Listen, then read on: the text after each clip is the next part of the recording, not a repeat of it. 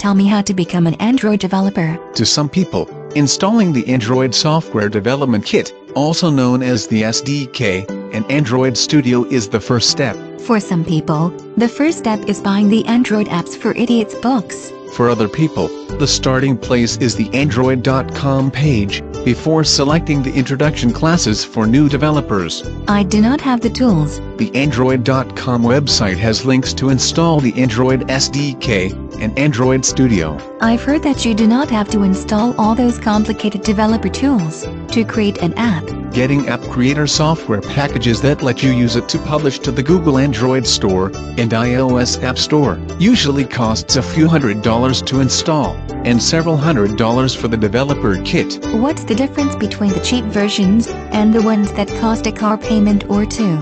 Features You'll get more backgrounds and plug-in features, and features you can add to the finished apps if you pay more for it. Plus tech support. For the free to cheap Android app development software, you usually have to pay for tech support, or have to rely on user forums for free advice. A lot of Linux versions are like that. That's one reason why Linux is not more popular. Windows may have tech support, but it is not very useful, and that's assuming you can understand the accent of the person from India, pretending to be from Iowa. I need something simple enough to not need hand-holding. There are simple game development apps like Stencyl, Shara, BuildBox, Jumpcraft and GameSalad Creator. They let you create games within the application, and can even help you publish them. Games are popular only because your friends and family are more likely to play them. Then install an app to get constant content streams of all your updates.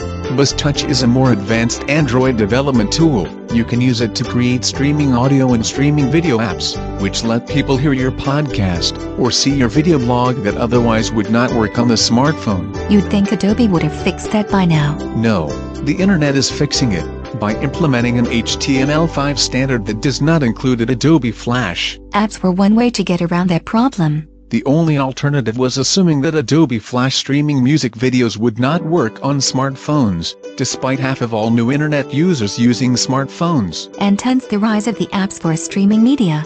And the rise of apps for creating apps, so that people can create apps for their websites and content, without having to know how to program. What languages would I have to program in to create something for the Android, without a fancy app creator app? JavaScript works on the Android phone, and lets you create both media-rich websites and HTML5 games and applications. The side benefit of that is that I can say I'm experienced in HTML5 development too.